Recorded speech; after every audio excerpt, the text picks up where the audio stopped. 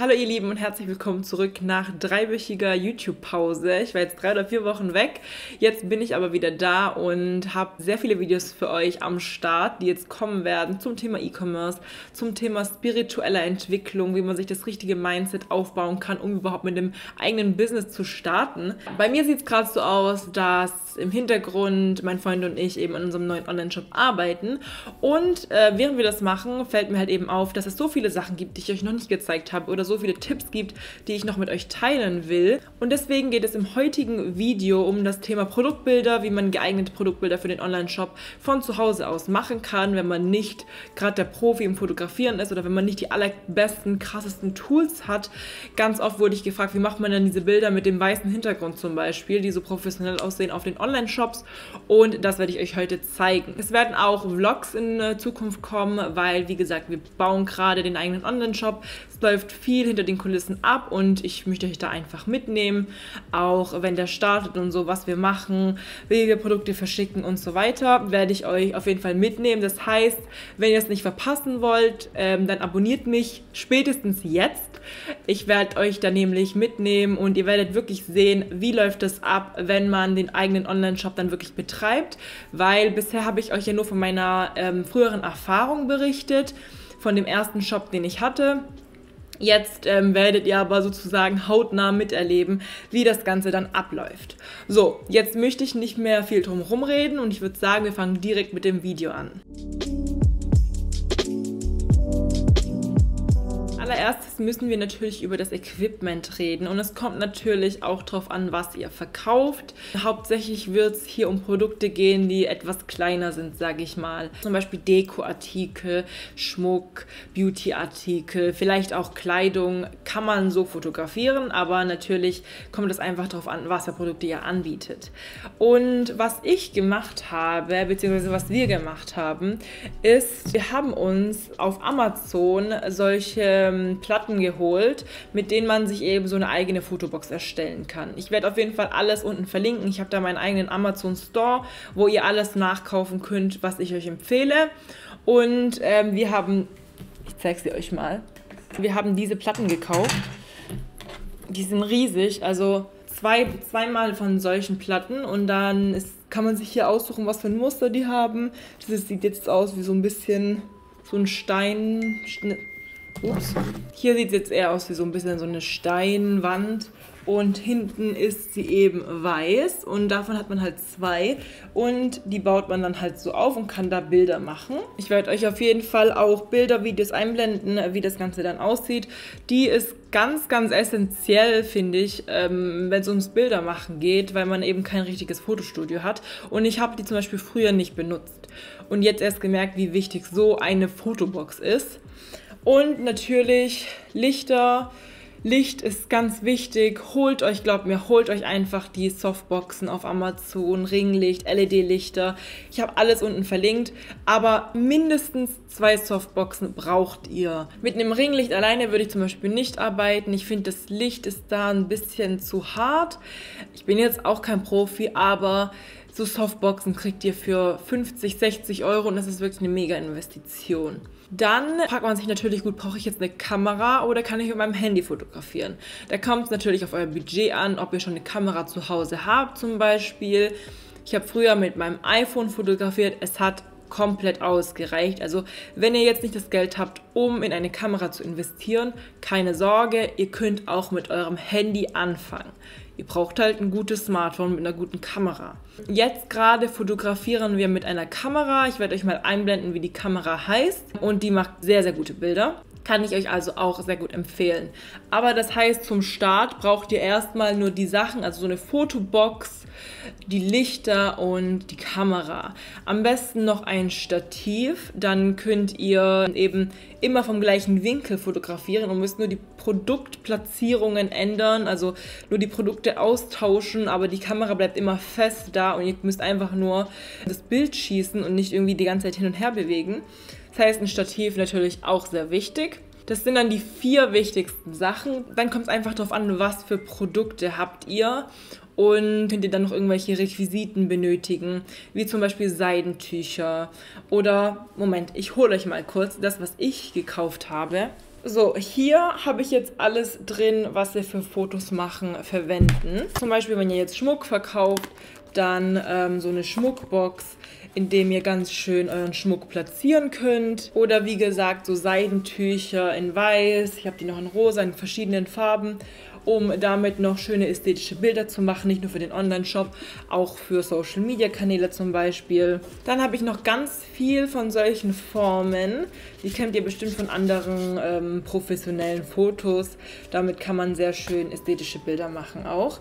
Und alles bekommt ihr auf Amazon. Wie gesagt, ich werde euch alles unten verlinken, wie auch zum Beispiel solche ähm, Schmuckständer, mit denen man auch ähm, sehr tolle Produktbilder machen kann, mit Halsketten, Ohrringen und so weiter. Ich zeige euch jetzt ungefähr, wie wir das dann aufgebaut haben, wie wir dann die Bilder gemacht haben. Also ihr seht, man muss ein bisschen rumprobieren und schauen, wie kommt das Licht am besten. Man muss die Fotoboxen immer wieder hin und her schieben, um zu gucken eben, wie ich die Bilder überhaupt haben, wie tut meine Kamera am besten das Licht aufnehmen. Man muss ein paar Kameraeinstellungen ändern, wenn man wirklich mit der Kamera arbeitet. Und mit dem iPhone geht das wahrscheinlich ein bisschen einfacher. Da mit der Kamera hat man einfach viel mehr Einstellungen. Aber da seht ihr ungefähr, was wir so für Bilder gemacht haben. Man kann auch ein bisschen kreativ sein. Da hat mein Freund zum Beispiel ein Blatt Papier genommen, hat es zusammengerollt und ähm, dann war das eben auch so ein schönes ästhetisches Foto mit halt verschiedenen Formen im, im Bild, um Ketten zu fotografieren. Und was wir dann gemacht haben, um eben diese Bilder zu fotografieren mit diesem weißen Hintergrund. Das sind ja meistens so die ersten Bilder, die man auf dem Online-Shop sieht, wo man das Produkt, also wo das Produkt wirklich im Fokus ist, ist das Produkt natürlich erstmal flach auf diese ähm, Fotobox, auf diese Platte zu legen und dann erstmal so zu fotografieren. Das Licht ist wirklich das Wichtigste. Also schaut darauf, dass das Licht einfach sehr, sehr gut ist, dass man die, das Produkt erkennt und auch die Details des Produkts gut erkennt. Und dann, wir haben zwar beide Photoshop Skills, haben aber dann auch eine Methode gefunden, die ich mit euch teilen wollte, die eben auch sehr einfach ist für Anfänger gerade. Ich habe euch schon ein paar Mal die Website Canva empfohlen und auf Canva kann man ganz einfach also automatisch, den Hintergrund entfernen. Dafür braucht ihr die Pro-Version, aber ihr könnt Canva 30 Tage kostenlos testen und da erstmal schauen, kommt ihr damit überhaupt klar und ähm, da auch die, eure ganzen Bilder eben machen. Schauen, ob es sich für euch lohnt, eben Geld dafür zu bezahlen. Ich glaube, Canva kostet pro Monat, ich glaube 12 Euro, ich bin mir gerade nicht so sicher. Und da könnt ihr dann ganz einfach eure Bilder draufziehen, den Hintergrund entfernen und Schatten einfügen. Und das war's. Mehr müsst ihr eigentlich nicht machen.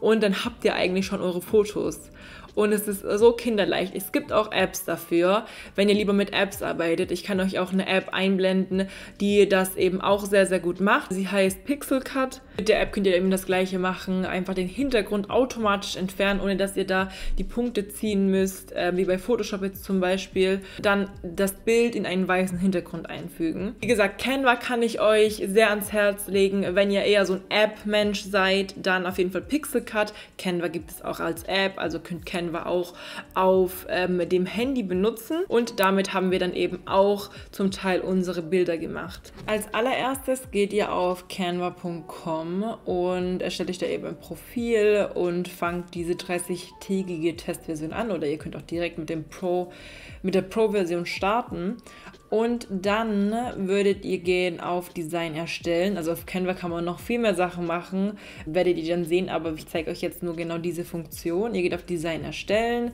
und gebt da eben eine Größe ein, die ihr haben wollt. Und dann bekommt ihr eben so ein leeres Template. Und da würdet ihr dann eure Bilder reinziehen und hochladen. Und dann habt ihr erstmal euer Bild, ganz normal, so wie ihr es geschossen habt, eben mit eurem ganz normalen Hintergrund. Also ihr ladet das Bild hoch, müsst dann einfach nur auf das Bild klicken, oben links auf Bild bearbeiten und dann auf Hintergrund entfernen.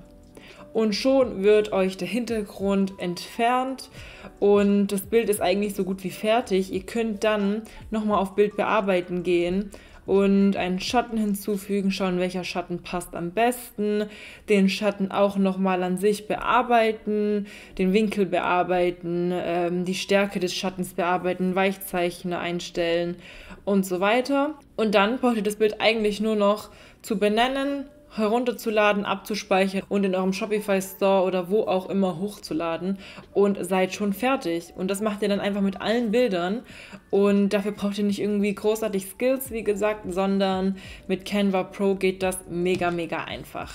Ihr habt gesehen, das dauert ein paar Sekunden. Also der größte Part oder der zeitaufwendigste Part ist eigentlich einfach die Bilder zu erstellen. Und danach das Bearbeiten an sich, kommt natürlich darauf an, wie viele Bilder man hat, ist wirklich sehr leicht mit Canva. Ich habe noch einen weiteren Tipp für euch, einen Bonustipp, wenn ihr Kleidung verkaufen solltet. Dann habe ich auch schon gesehen, dass Leute sich fragen, wie mache ich denn diese Mannequin-Bilder? Also diese Bilder, wo es aussieht, als hätte jemand das Oberteil an, aber es ist keine Person zu sehen. Also sowas zum Beispiel. Und solche Bilder könnt ihr erstellen mit dem Programm Auto Retouch. Ihr geht einfach auf autoretouch.com und da findet ihr mehr Infos dazu. Ich kann auch ein separates Video dazu machen, wenn es euch interessiert.